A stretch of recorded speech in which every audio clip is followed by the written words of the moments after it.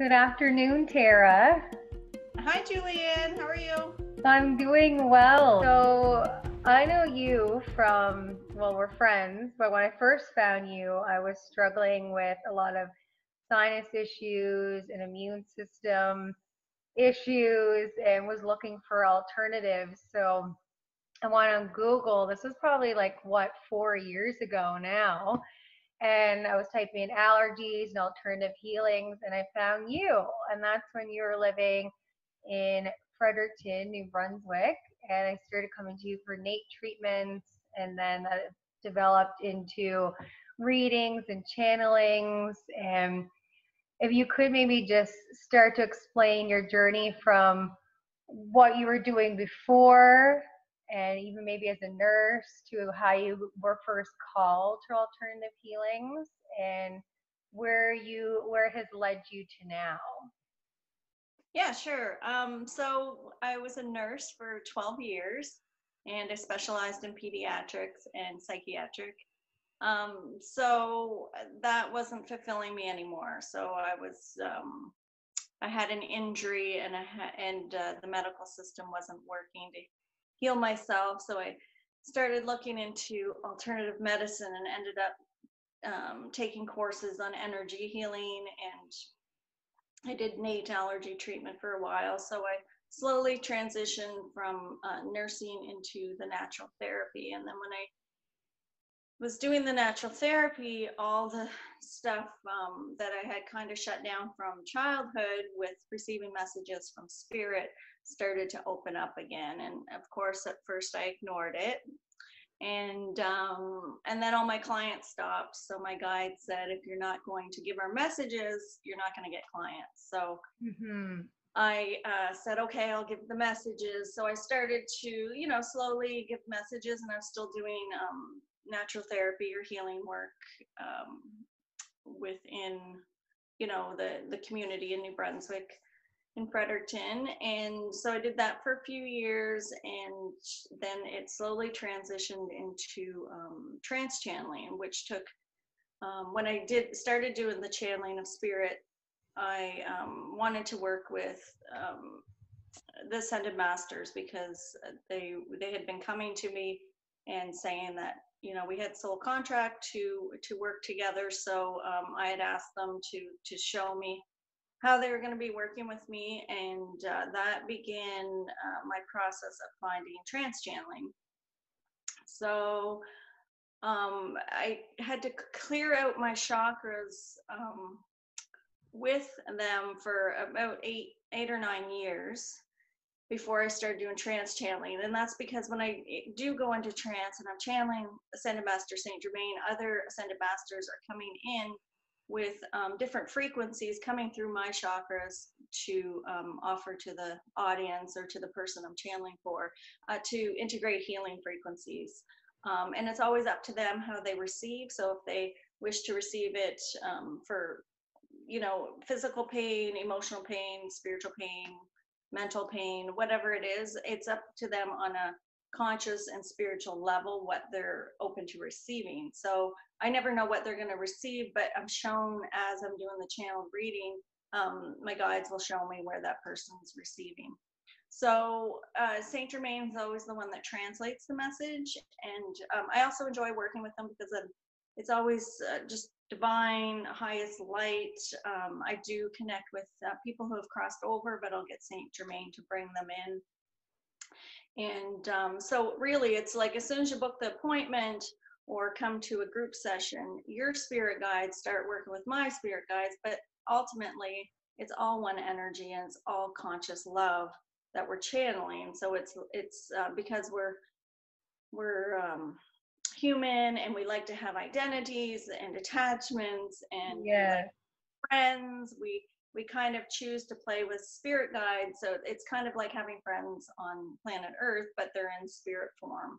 So, um, you know, you, we're all assigned uh, spirit guides in our lifetime. Whatever you choose to do in your life, spirit guides will come and help you out with that, um, whether you're aware, aware or not. So, um, everyone can channel, and I teach a channeling course on um, how to channel, and um, Saint Germain teaches that course with me, so he'll know exactly where the person's vibrating at to wh- what they're ready to receive at that time for um, how to connect with their own guides, uh, like you know where wherever they're vibrating at. So if you're a beginner, he'll teach you from where you're at as you're starting out. But if you're an advanced channeler, he'll teach you from there. So it, it depends on where um, your your vibration is because we're all vibrational beings and you receive um, where or your awareness is from where you're vibrating at. Um,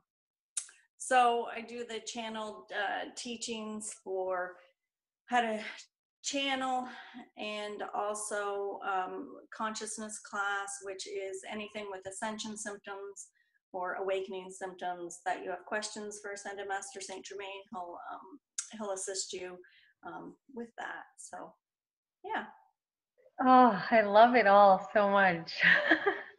I think question. I kind of went off like No, it was actually all that I wanted. So that was great. It was like the full journey and that is what I asked for. So that was great.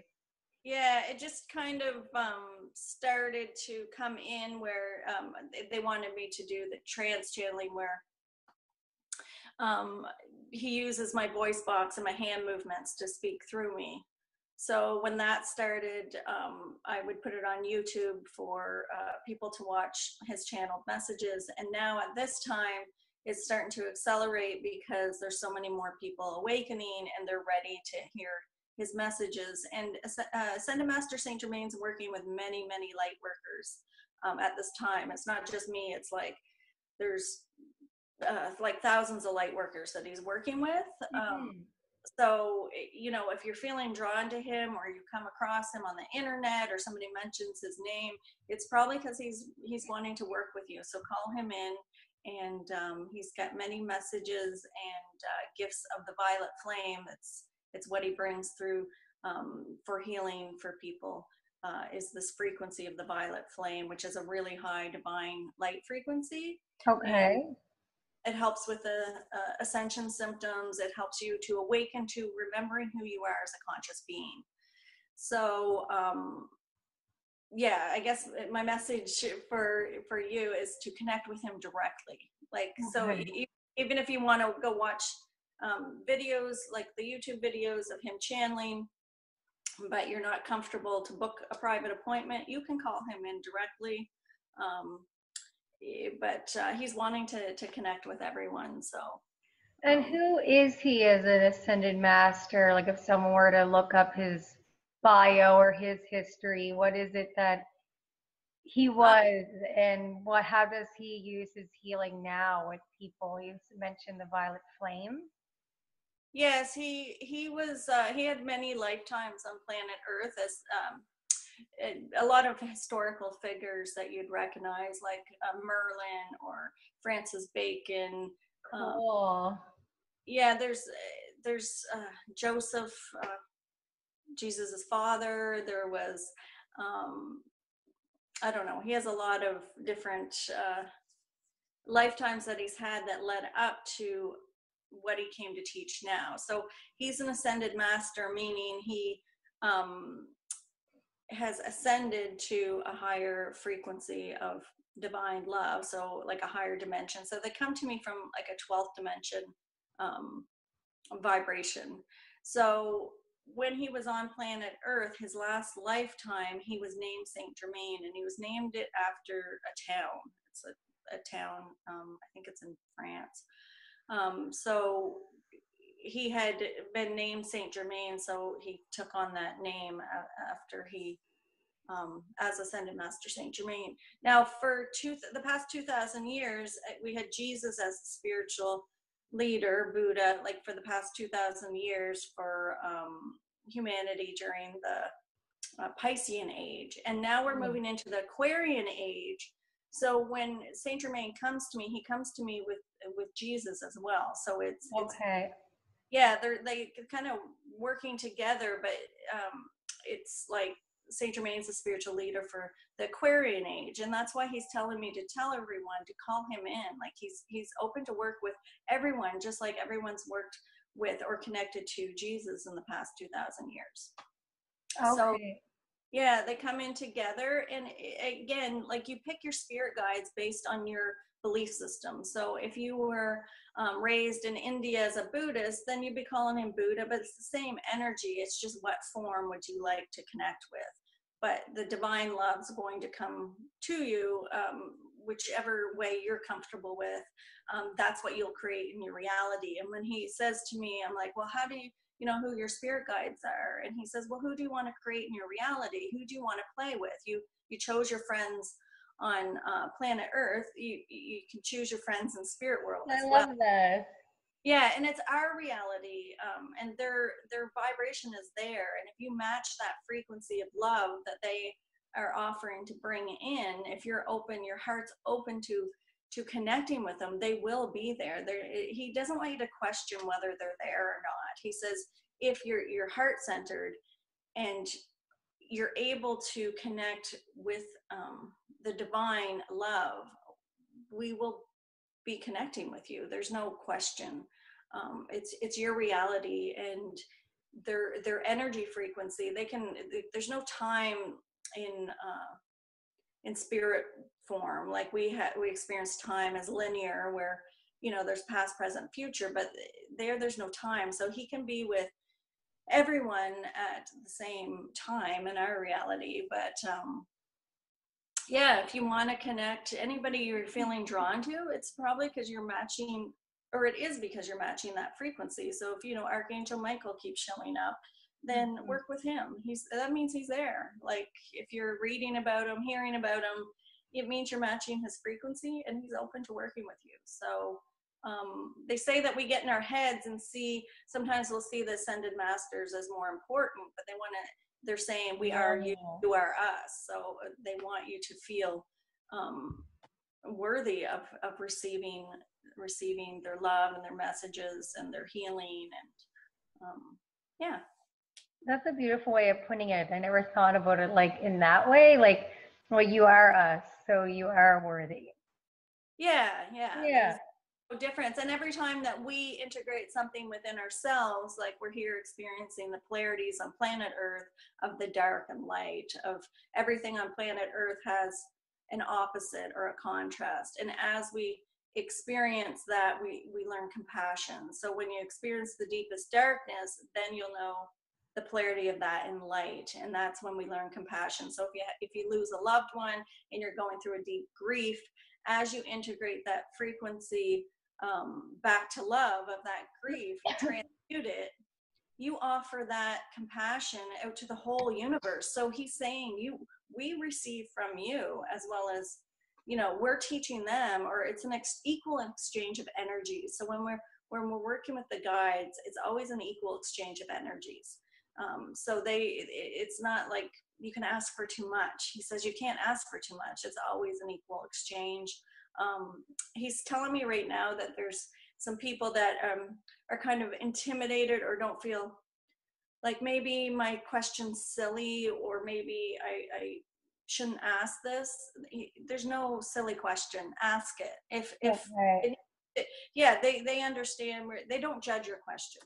Um, you can't ask for too much, and you can't ask a wrong question. They're never going to judge it, um, and they never judge anything that we experience as humans. Like we're here to experience both the dark and light um, as an experience. Um, mm-hmm. Um, we perceive it as struggle, but they don't. They, yes, they're like everything's great. It's supposed to be that way.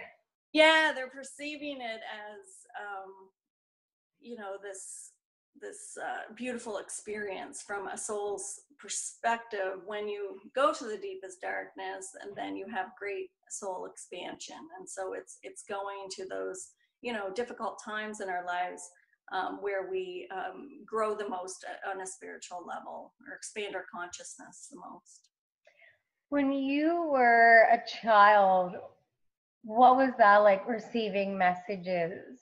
Like did you see people or hear things or feel things? Because i know for me my grandmother is gifted in that way as well. So I grew up with like that was a normal conversation, whereas some families are like, you don't talk about that. Like I wouldn't go to school and talk to people that I'm like, I think I know things that I'm not supposed to know.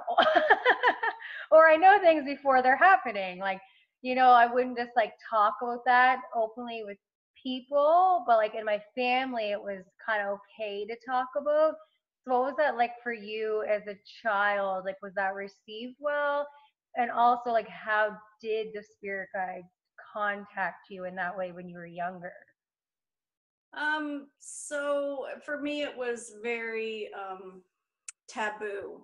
It was like I was raised very Catholic, and um, my parents did not believe in connecting with spirit. They thought that it would okay. be the devil getting in. So I had to clear a lot with um, a lot of religious beliefs and stuff. So as a child, it was like um, I would I actually heard them different as a child. I heard them as um, um, a louder voice of um, uh, I would see like like a vision, but also the the voice was a, a lot clearer, more precise.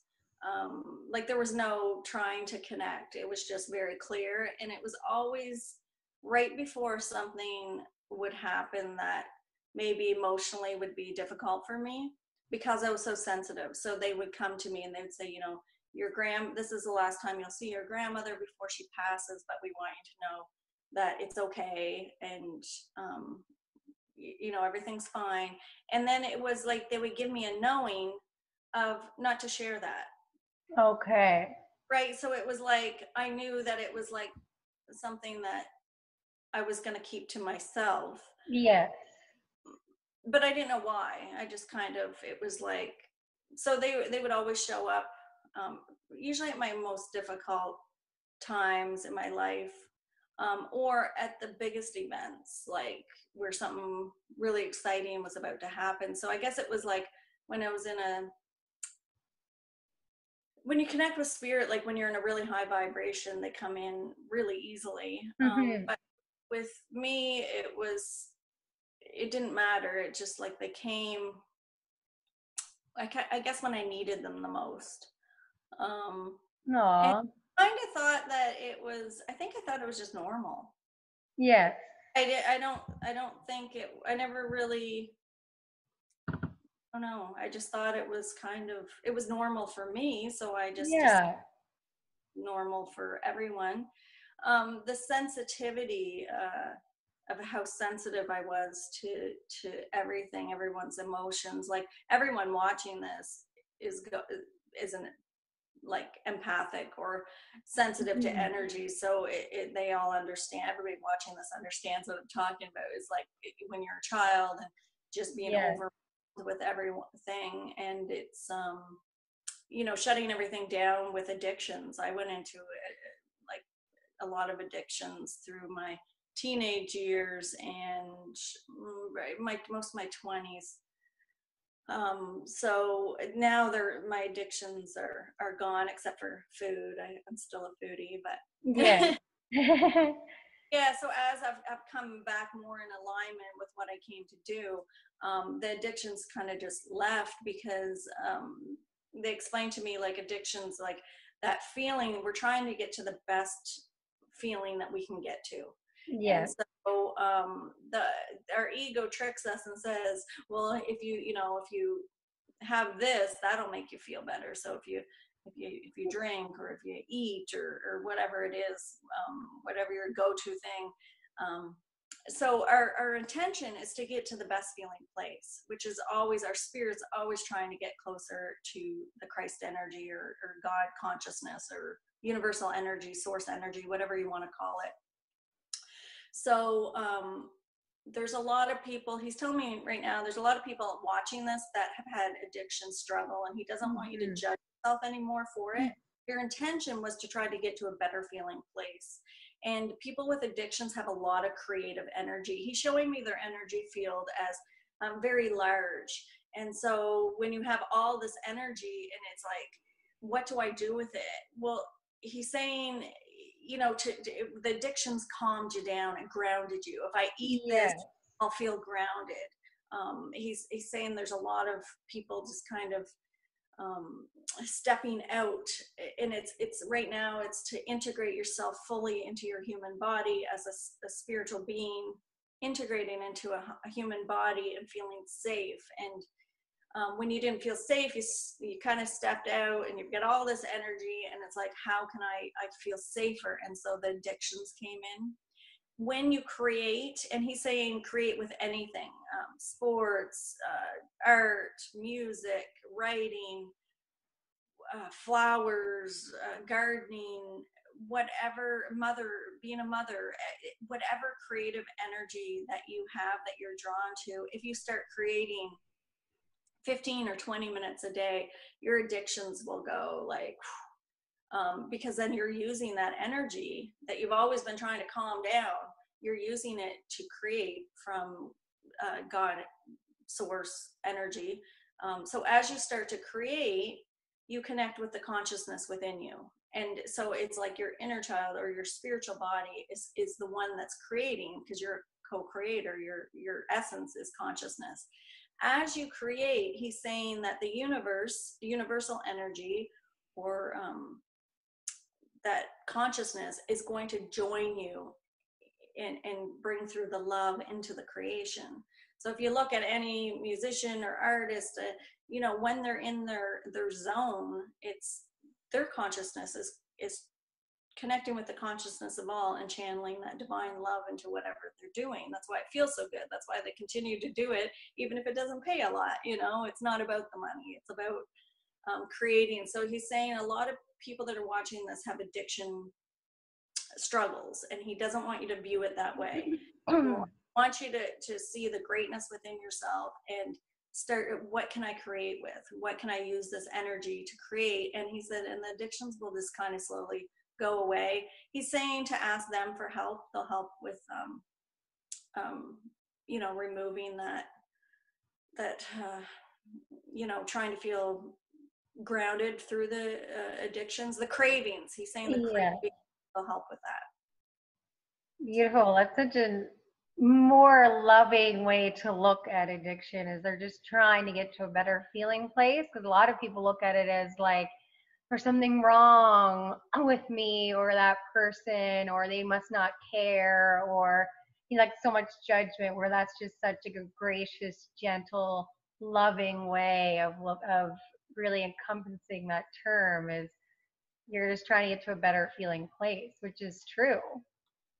Yeah, yeah. The intention is always good, and and he says it's it's only you judging you, mm-hmm. and when other people judge you for it, it's a reflection of how you're judging yourself for it. Like we beat ourselves up so much, and so it shows up in a reality to show us we're judging ourselves spirit never judges. He's like we don't we don't judge any of your addictions. Call us in and we'll, we'll help uh, we'll help you with it. And he's saying that there's a lot of people that don't feel worthy of receiving um, help from their spirit guides because of their addictions because they're, they're thinking they're getting judged. And he said it's the opposite.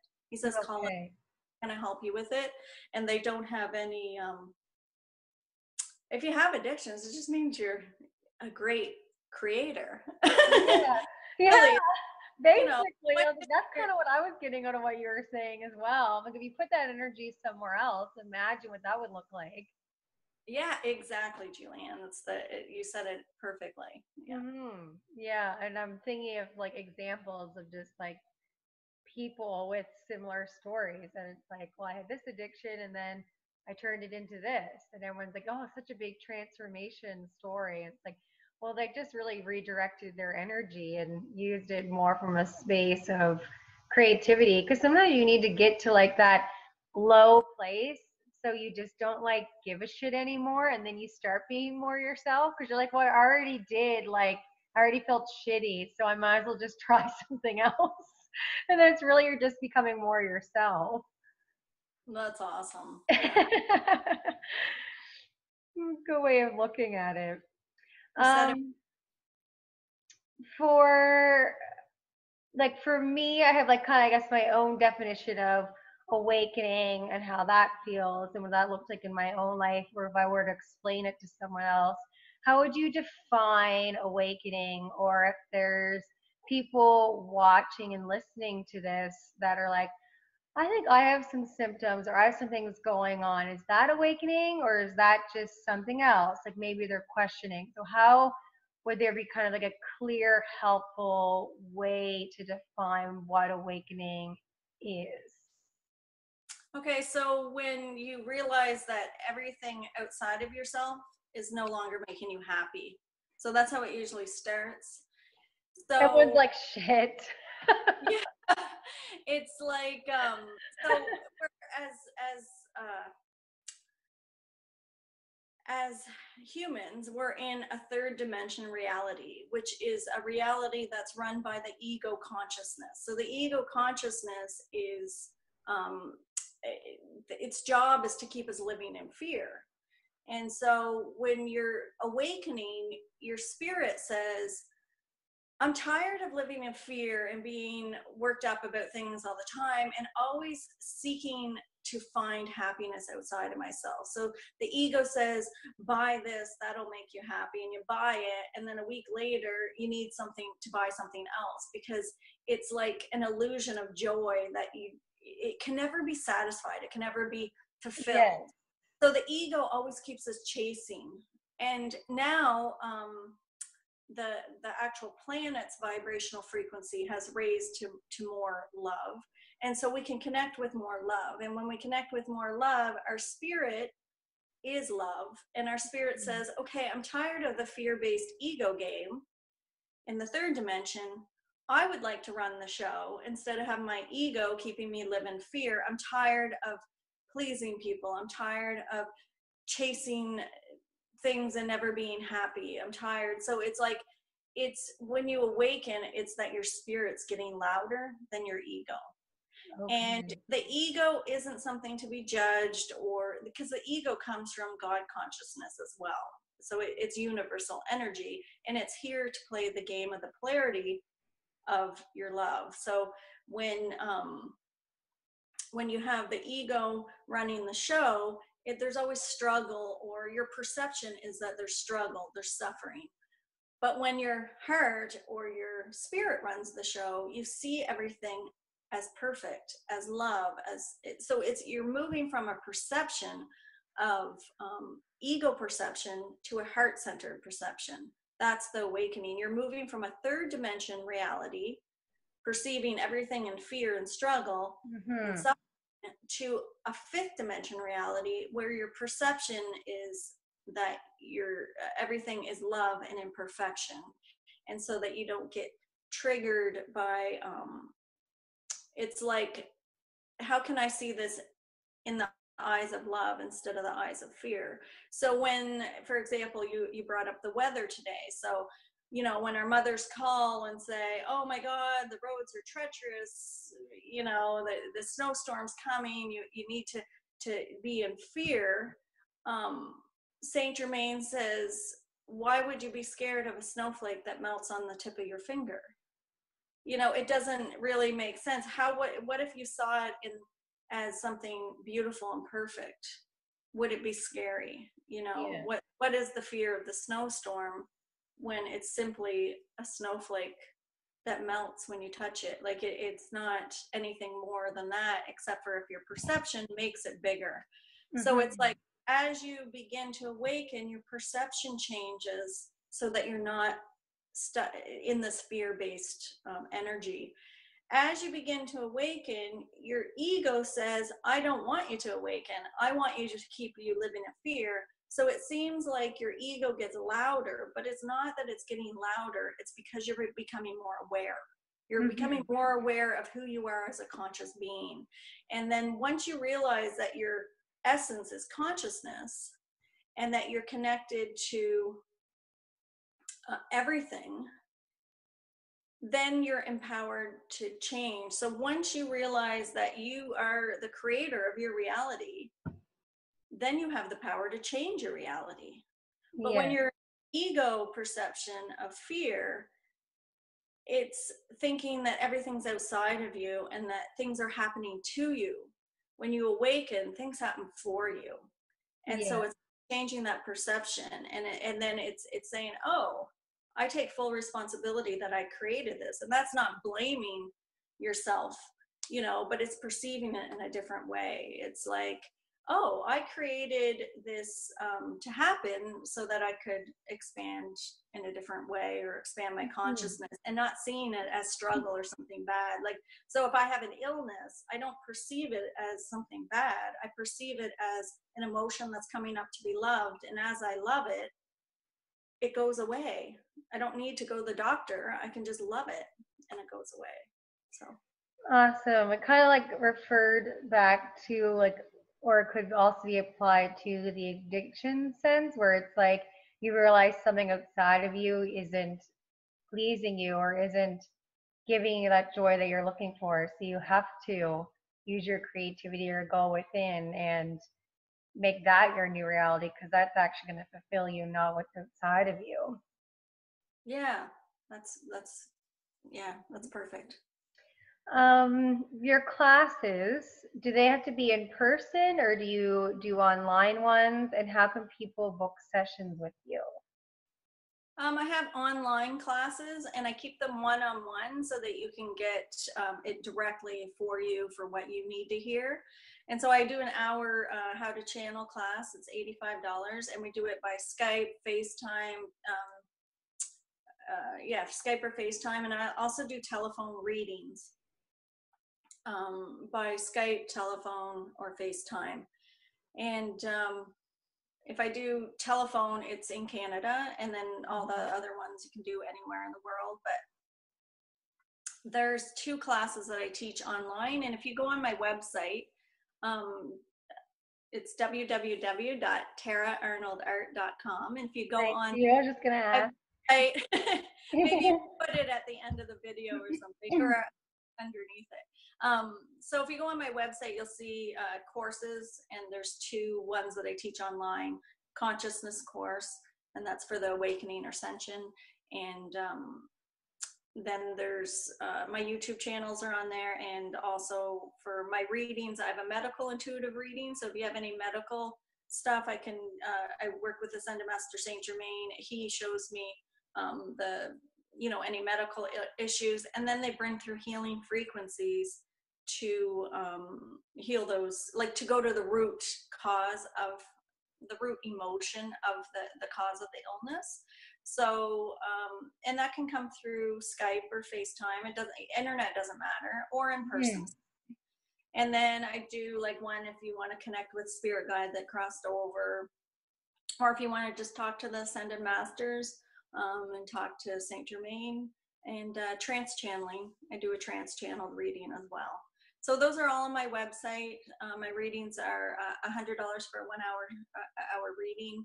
And um, I also do local workshops here in uh, Mahone Bay and Bridgewater, um, and small group workshops. Um, they're really Mhm. fun, and so those are listed on my website as well. And what is your YouTube channel? Is it Tara Arnold? Yeah, it's Tara Arnold, T A R A, um, and it's channeling Saint Germain. So if you type in channeling Saint Germain or my name, you'll find it on YouTube.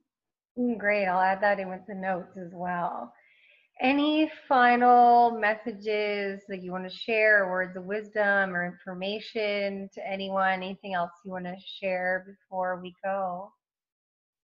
Um, I just want to say I appreciate uh, Juliane. I appreciate you uh, interviewing me, and you're a beautiful spirit and soul. And I, Thank um, you. Yeah, I feel quite honored to uh, be part of your podcast today. And I also want to say that um, everyone that's watching this is amazing, magnificent, great. And Saint Germain saying it's time to step into your greatness. It's time to show who you are. It's time to, um, you know, be who you came to be, and and that's uh, finding yourself um, as consciousness and showing the world your your gifts and your talents and you're all amazing it doesn't matter how much you've judged yourself Mhm. we're all equal and so he, he's just he's sending everyone out there a lot of love also he's telling me that through this video today he brought through frequencies um, for the third eye. So uh, after watching this, you might have more clarity, more awareness. Um, I'll, I'll just ask him if there's any other ones. Just one second.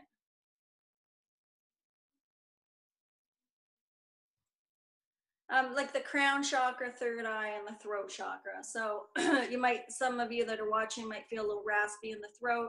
It's because they brought through healing energies for throat chakra, um, third eye, and crown. Um, the crown chakra is your connection to the divine and also the brain, spinal cord, the ego.